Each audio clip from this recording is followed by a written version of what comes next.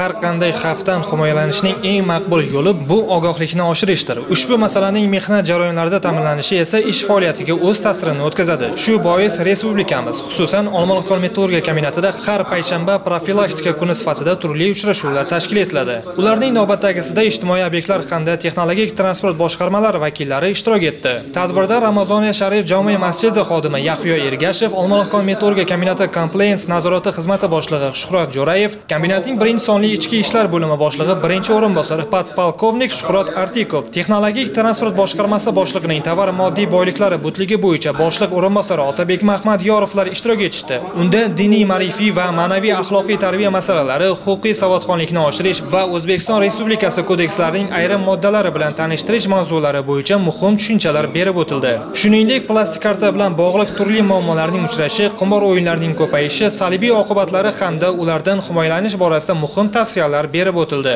Tadbirda so'z olgan Yahyo Ergashev diniy, ma'rifiy va ma'naviy axloqiy tarbiya masalalarini yoshlar orasida muhokama qilinishi lozimligi va bu borada ko'r-ko'ronalik bilan ish qilish ko'plab muammolarga sabab bo'lishi mumkinligi va diniy qarashlarga mos kelmaydigan yot g'oyalardan himoyalanish lozimligi ta'kidlab o'tildi.